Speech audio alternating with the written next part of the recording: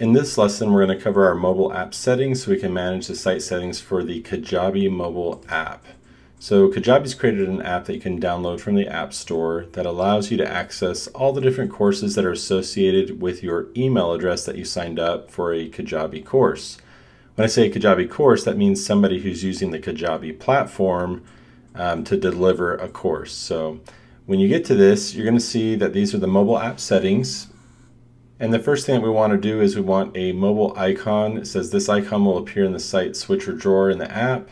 And so you want this to be 512 by 512. So I've uploaded my logo for that.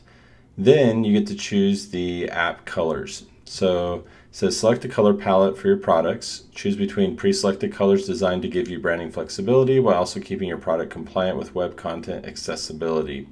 So if you click on, um, you know, the magenta, it changes to that, the default. So I'm going to leave it on blue.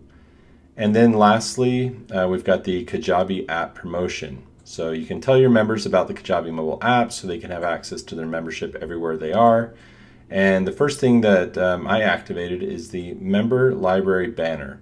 So to add a banner to your members library page promoting the Kajabi mobile app, activate the switch below. If you'd like to remove the banner, simply deactivate the switch. So when your members log into their library, they're going to see the different courses that they've signed up for um, from you. And so this just adds a banner saying, hey, you can access this um, via the mobile app.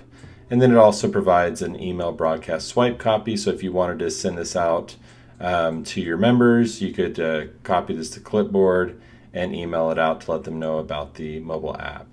Uh, lastly, and most importantly, um, once you've added all these settings, go to the top right, click Save, and that's it for the mobile app settings.